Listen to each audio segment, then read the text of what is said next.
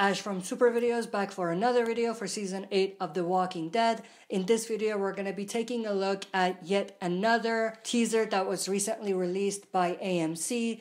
This one is different in a way that it has a behind the scenes look at the back half of season 8. So it's not explicitly a teaser. However, it includes a lot of new teaser clips here and there that I will be talking about here and breaking it down for you guys.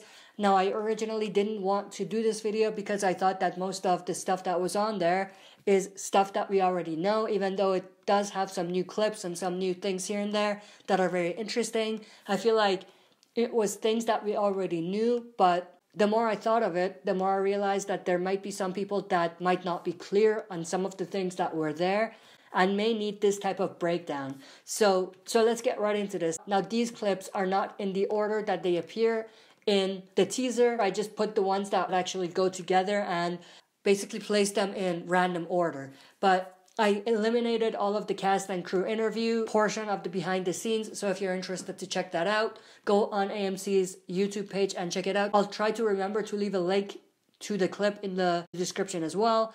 So let's get right into this. So first we have this shot of Carl. He's in his bathroom and he's basically looking at his bite now, this is definitely 100% a flashback.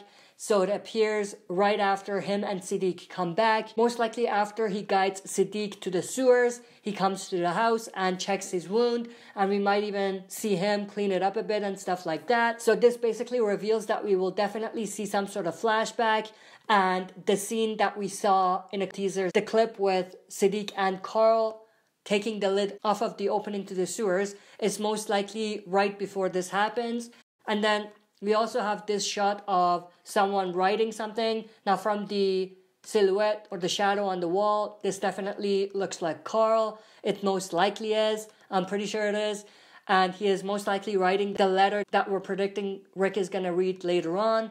And this is most likely also connected to the other kind of shots that we've seen of Carl writing something on his journal.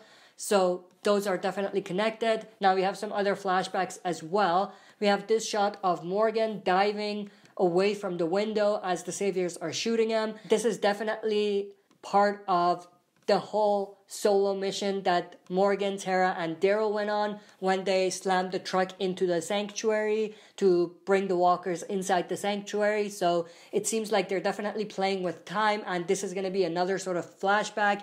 I don't know if this and the flashback with Carl are going to be connected or not. However, this is definitely another flashback. And we also see other parts where Morgan is running away from a building, closing the door. That's also most likely part of that flashback. And we have this shot of Morgan watching some vehicles drive away in the road. Again, this is most likely another flashback. It could be after Morgan and the others save Ezekiel if they save him, which they most likely will, and as they're going to Alexandria. But I'm leaning more towards this being another flashback and part of the other three flashback screenshots that I showed you just now. Then we have this shot of Enid and Aaron. They're at the Oceanside. We know that they will go to the Oceanside based on another teaser that was released. They're most likely talking to either Cindy or another top leader at Oceanside.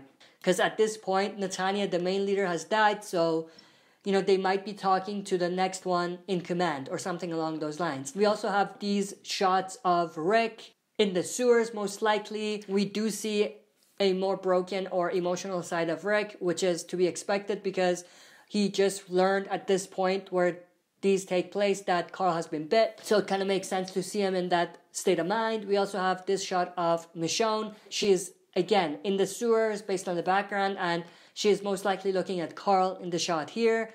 We have some other shots of the survivors as they're basically waiting in the sewers with Tara here and Rosita here and some other background characters in the back as well. Then we have this very interesting shot of Michonne fighting Dwight. This is very interesting. I didn't expect anything like this to happen.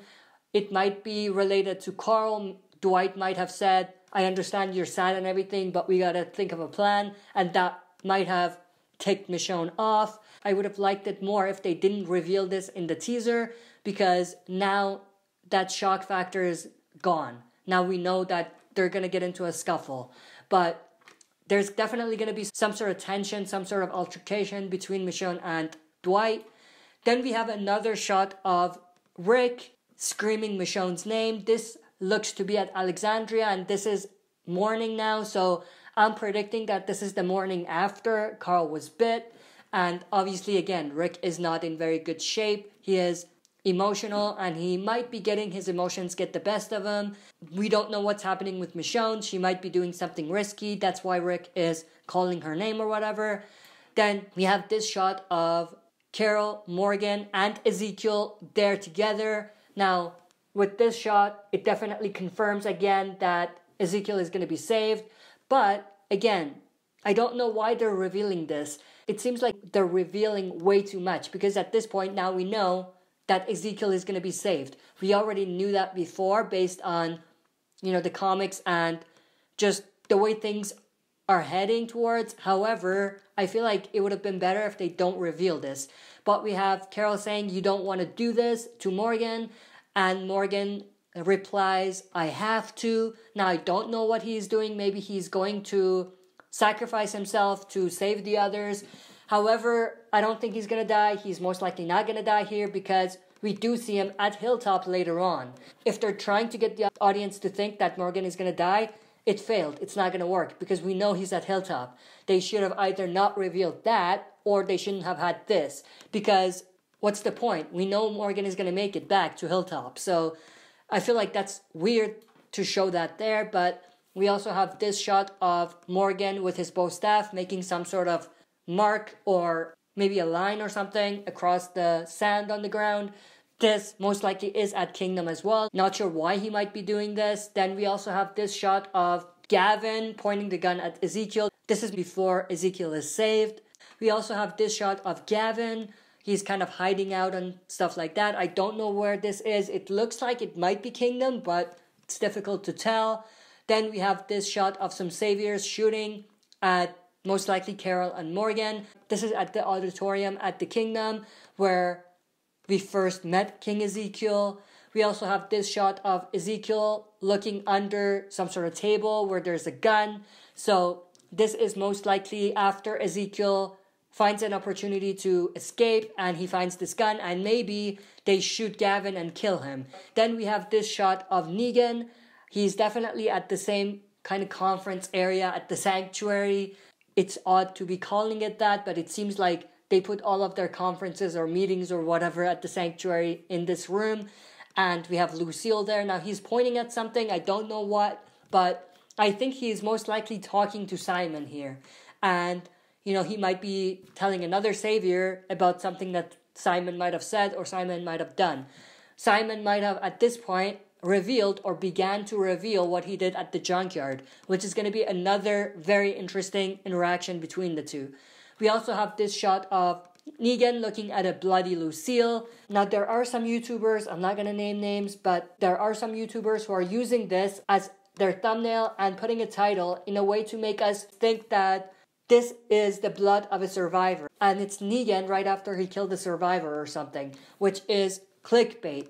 It's a shame that there are YouTubers who do this, but it is.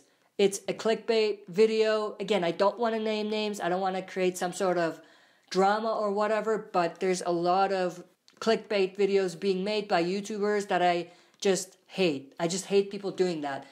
If you follow my channel, you know I don't do clickbait videos. I just hate the idea of clickbait and I don't do it. There might have been like one or two instances where I did it, but one was on purpose because I was mocking and making fun of articles and YouTubers who do clickbait things like that. That's one instance. The other instance, I think I might have done a clickbait by accident. It was unintentional, but I definitely don't do it on purpose. I don't try to make clickbait videos on purpose because I just hate the idea of clickbait. I don't know, it might just be me, but I hate the idea of YouTubers making clickbait video. Not even YouTubers, just in general. Maybe articles, YouTubers, or anything like that. I'm just gonna move on, but this is not Survivor. Negan just killed a walker, most likely. And this is probably connected to the other shot we saw in the other teaser where we have Negan hitting one of the walkers with Lucille. If you remember, he kind of turned around and smacked a walker in the face. So this is most likely right after that.